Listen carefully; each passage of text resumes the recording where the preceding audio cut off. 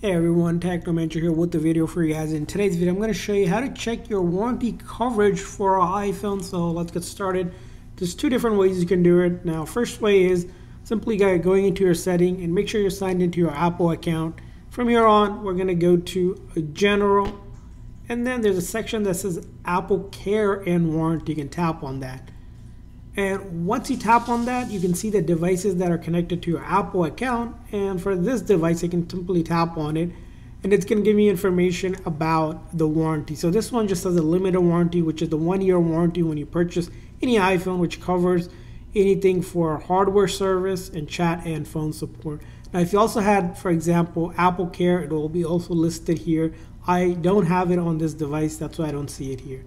Now, if you're not seeing anything, maybe here in this section because you're running an older version of the iOS or it doesn't show up, another way you can do is in the About section here in the General, you're going to copy that serial number. So just long press and hold and then click on copy.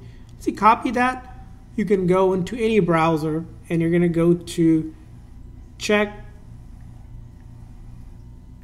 coverage.apple.com. So check coverage all in one word apple.com and once you get to this website basically you're going to go ahead and either sign in or just enter your device serial number and hit submit.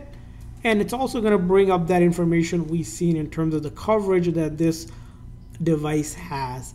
So that's how you can check device coverage for your warranty on your iphone.